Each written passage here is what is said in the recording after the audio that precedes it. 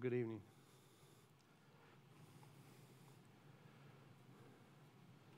We have the privilege once again of uh, turning our attention to communion, to the Lord's Supper. And tonight I want to turn to a very familiar passage, uh, 1 Corinthians 11. We look at this passage nearly every time. Down to verse 23.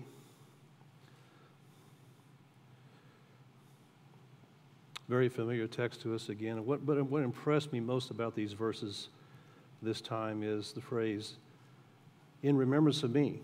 Do this in remembrance of me. We see that repeated in verse 24 and 25. And what impressed me from these two statements, we can see really the desire of our Lord to rem- be remembered by his people. And knowing his people as he does, he knows how badly we need this reminder of himself in the taking of this bread and drinking of the cup. Also, knowing his people as he knows us, he knows how fickle and how forgetful uh, we tend to be. He's our creator, he knows our personalities, how short of attention span, memory span we have of certain things. And so I believe as a result, he instituted this simple ordinance and then he explained the purpose.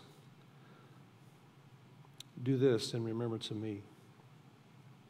From that time on to today, his redeemed people have gathered in his name alone and in scriptural simplicity have sought to carry out this request of our Lord. And this is a very special invitation to us from the Lord himself, from the host himself. We're not hearing about him, we're hearing from him.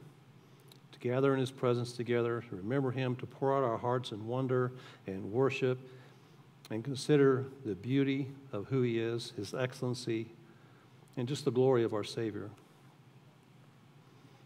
So, the sole purpose of this Lord's Supper is to provide us an opportunity to concentrate our mind's attention and our heart's affection on the person of the Lord Jesus Christ to the exclusion of everything else. And so, as we consider the bread and the cup, I'll offer you just a few things we can remember about our Lord. I just love the providence of God in bringing Greg to this text in John tonight we can consider his love. We just heard a great exposition of the love of Christ toward his disciples. Love is a verb, it's things he does for us. And so you can certainly contemplate that. We can also think about his name. Psalm 20, verse 7, you don't need to turn all these passages, I'll just read them off. We read in Psalm 20, verse 7 Some boast in chariots and some in horses, but we will boast in the name of the Lord our God.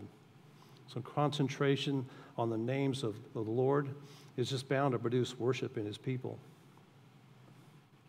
Matthew 121, we see an angel of the Lord declared to Joseph and to Mary, He will bear a son, and you shall call it, she will bear a son, and you will call his name Jesus, for he will save his people from their sins.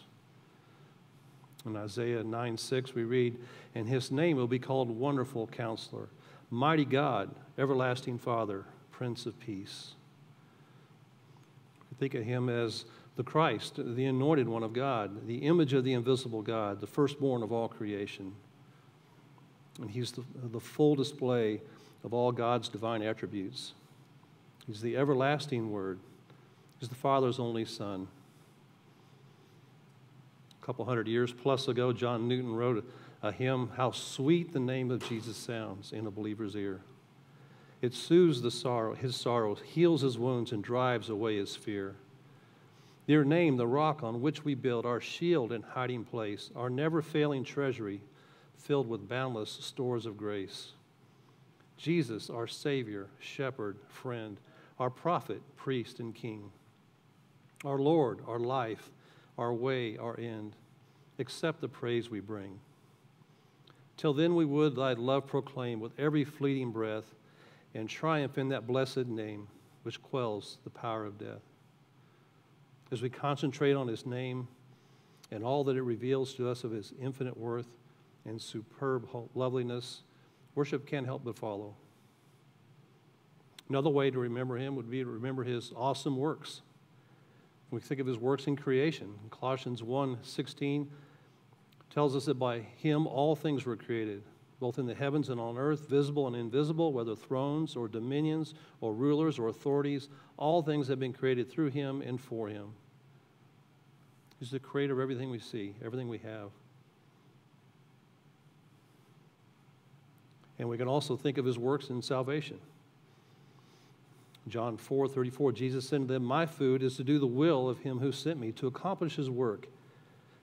And in such passages as, Matthew, as Mark chapter 10, Jesus was even more explicit, saying in verses 33 and 34, Behold, we are going up to Jerusalem, and the Son of Man will be delivered to the chief priests and the scribes, and they will condemn him to death, and will hand him over to the Gentiles. They will mock him, they will spit on him, and will scourge him and kill him. And three days later, he will rise again. And then in verse 45, Jesus declared to his disciples, For even the Son of Man did not come to be served, but to serve, and to give his life a ransom for many. So as we contemplate his marvelous works, his work as the creator and his work and the redemption of his people, worship can't help but follow. And just one more thought, and there are many more. Consider Jesus as our great high priest. Romans chapter 8, verse 34 tells us that Christ Jesus is he who died, yes, rather, who was raised and who is at the right hand of the Father, who also intercedes for us. Hebrews 7 25 says, Therefore he is able to save forever those who draw near to God through him, since he always lives to make intercession for them. So we can draw near with confidence to the throne of grace, as the author of Hebrews told us. Because he is our great high priest. So we can consider his names, we can consider his love, we can consider his works. And that's what we ought to be giving our attention to as we come to this period of, of, of our service. To do this, what we're going to do in remembrance of him, which will begin here in just a few moments. We'll have an opportunity to do that. But for those who are visiting here, I just want to remind or, or let you know that here at Anchor Bible Church, we practice open communion. It means this bread and this cup are for all who have placed their faith and trust in Jesus Christ for the forgiveness of their sins. And will have to be a member of Anchor Bible Church to participate with us. Welcome to do that. But if you've not trusted in the Lord Jesus Christ, in the precious blood of Christ on the cross, we ask you to just not partake with us. This, this would have no meaning for you, but rather consider your position before the God of the universe and your great need for salvation. We have tables set up across the middle of the room, which contain the bread and the cup. We'll take a few moments now to consider Jesus. And then we'll come back together after you've gathered the cup and the bread. We'll come back together and, and partake together.